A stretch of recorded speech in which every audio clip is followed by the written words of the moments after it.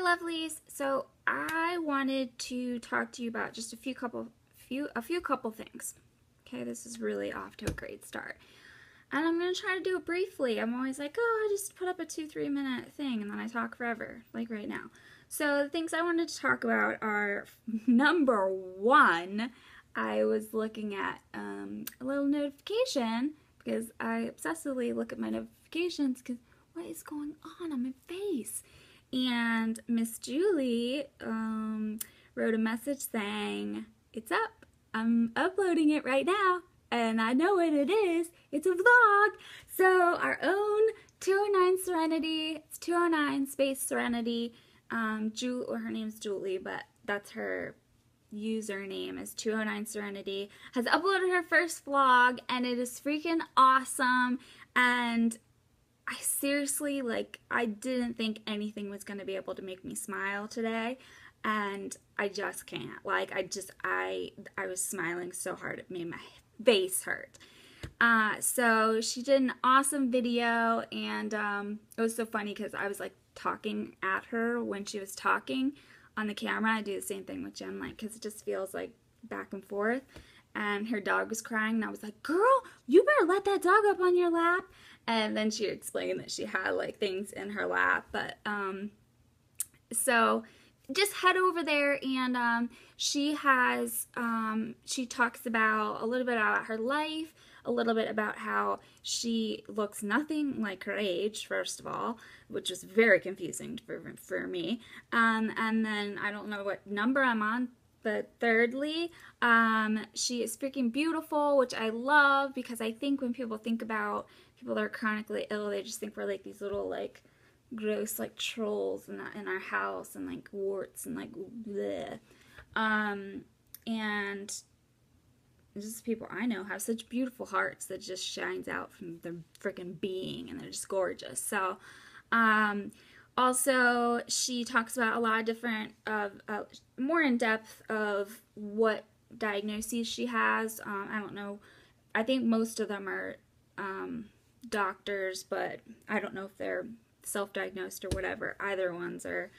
Um, who, I mean, you know what I, you guys know what my whole issue is with that.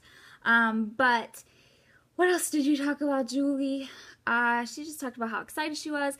Um, if you guys would head over to her channel, I will link her channel down below in the description box.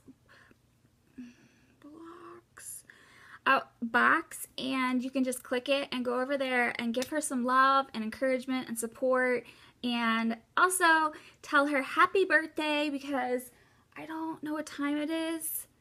I think it's still her birthday. If not, it'll be a day late or a couple hours late. I don't know if it's still the same day. I don't know. Just say happy birthday to her and show her love and watch her video because, um, and, and subscribe because she's not going to do daily vlogs, but she'll do here and there and um, she's much co much well yeah this is a good example she's much more coherent than I am so that was nice to be able to understand the words that were coming out of her mouth.